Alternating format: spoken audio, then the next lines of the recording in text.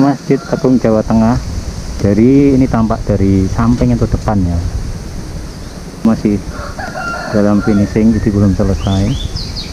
Depannya ini persawahan dan perumahan warga. Kita akan ke sana. Itu mbah masjid. Belum selesai itu ya mbah? Belum. Boleh nggak ya mbah masuk situ? Eh? masuk situ masuknya lewat mana mbah? Lewat Oh, lewat sana? Yang samping kantor bupati itu? Nah oh. Tapi aku yang cerah dong pernah melihat oh belum lewat situ Cuman ya mbah? Dalam perawatan. Perawatan. Dan coba masuk. Ini tembusnya itu di jalan Soekarno Hatta ya? Ini saya dari sisi luar dari gang rumah warga. Jadi kalau kanan itu ke Candi Borobudur atau Candi Bendut Kalinegoro Purworejo kiri Magelang Semarang lurus. Ini nanti halaman depannya tapi sudah di pagar. Pagar keliling dulunya ini toko-toko ini warga masuknya lewat mana ini lewat sini dari lewat sini ini juga karena dampak dari masjid rumah-rumah ini ya. Di banyak yang kosong sana lagi. Kota sampling entah kota mungkin mungkin itu kota ya.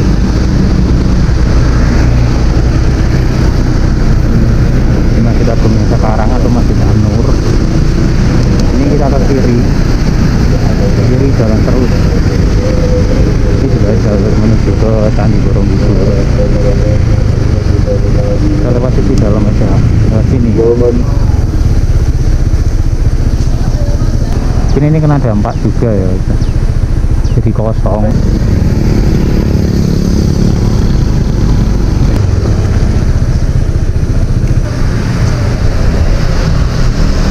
Ya pak. Boleh masuk nggak? Mau lihat-lihat? Oh mohon, mohon maaf tidak. Bulan Maret. Iya. Oh iya.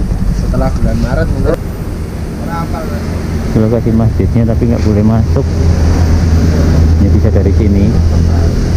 Ya nanti infonya informasinya tadi di bulan Maret. Nanti setelah setelah terima itu baru boleh.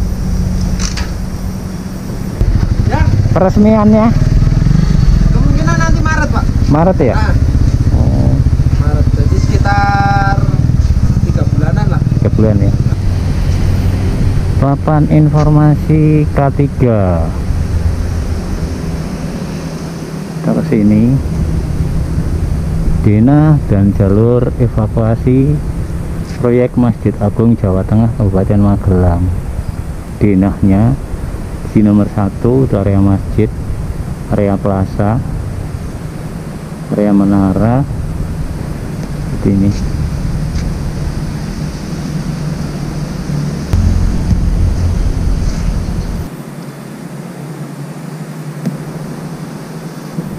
Papan informasi proyek Masjid Agung Jawa Tengah. Ini udah berapa persen sih Pak? 90 udah 90 persen berarti tinggal benerin dikit-dikit lagi. Oh. emang ada plaza juga Pak? kok ada? Ada. Oh nanti ada plazanya area juga. plaza, ada area masjid. Oh area masjid ada plaza. UMKM belum jadi nanti ada tahap kedua UMKM. Oh jadi yang utama masjid sama plaza. Ya. Kemungkinan nanti kalau untuk operasional fullnya tuh 2025 oh 2025 satu tahun lagi. Hmm, berarti kalau 2024 ini baru finishing mungkin tinggal finishing. finishing. Setelah itu nanti penyerah. Penyerahan. Penyerahan kemudian ada pembangunan lagi untuk PMKM Iya. seperti itu ya. Oh. Dan nanti clear semua dibuka untuk umum. untuk umum iya. ini masjid terbesar ya Pak ya kalau di Magelang? Ah di Magelang terbesar. Terbesar ya? Kalau untuk provinsi kemungkinan ini kedua ya. Kedua ya? Jadi yang satu MAJT satunya Semarang. Oh, di Semarang. Berarti terbesar kedua setelah Semarang. iya. Mungkin ya mungkin MAJP 2 kalau sebenarnya untuk lokasi mungkin luasan sini malah ya. Sini sekitar 4,3 Hektar. iya. Oh, luas ini daripada Semarang. lokasinya loh ya. Hmm. Belum belum ya untuk umum ya Pak ya. Ini gedung apa Pak nanti Pak? kalau ini powerhouse mas powerhouse. untuk, apa Sumber listrik. kelistrikan, di Kelistrikan. situ semua terus genset ada di situ sama eh, ini apa ground water tank jadi Drone air di situ semua untuk air. Nah, sama hidran Ini nanti pintu utamanya yang sini apa yang sebelah sana Pak? Oh, yang di samping itu ya. cuman itu kan masih masih ketutup yang di trotoar itu kan ada pohon apa Iya. palem nah itu Betul. nanti ada yang dipotong sekitar tujuh pohon Oh, ya yang di itu pagar Ah, keliling itu ya. jadi itu nanti dibuka full Oh, Itu masuk keluar di itu langsung kelihatan ngadep ke sana ya. Saya pikir Iya. ngadep ke sini, ternyata ke sana. jadi ini kemungkinan yo belakang tengah Belakang ini.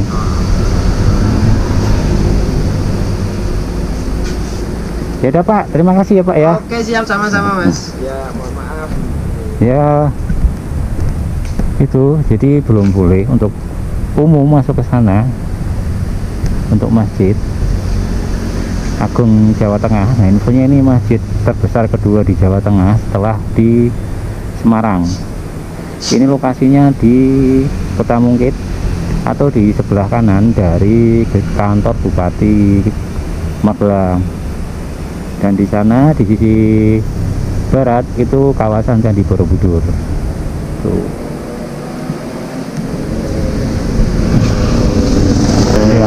Jalannya. Jadi ke kiri itu ke Candi Borobudur atau ke Purworejo. Di Kota Mungkit dan di sana itu ada pertigaan. Kanan itu ke Candi Borobudur, kiri ke Jalan Jogja Semarang atau ke Kota Magelang. Jadi Magelang itu ada kabupaten dan kota dan ini termasuk kabupaten. Dan depan ini kantor pemerintahan dari Kabupaten Magelang. Oke, mungkin sekian dulu videonya.